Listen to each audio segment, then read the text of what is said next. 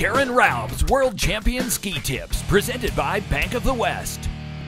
I'm Daron Rahlves with another World Champion Ski Tip brought to you by Bank of the West.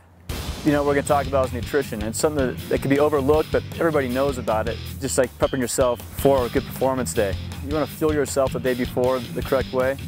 And that's like putting the right carbohydrates, a little protein in yourself, really hydrating a lot.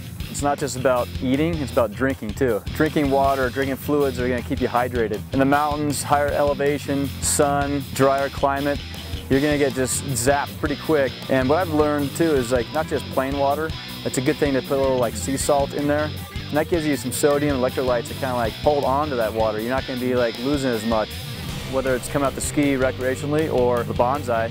It's more about really fueling up the day before and then maintaining that nutrition throughout the day on the mountain.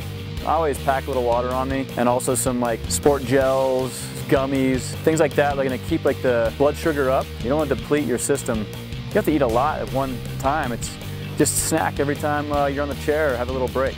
It's all about coming out and enjoying a full day of skiing especially for Banzai, for four rounds, after you go through like warm up in the morning, practice runs and four rounds, you still want to be feeling like you have the gas or fuel in the tank to really get after it for the final. Proper nutrition and hydration during the day helps with your mental approach and confidence on the mountain.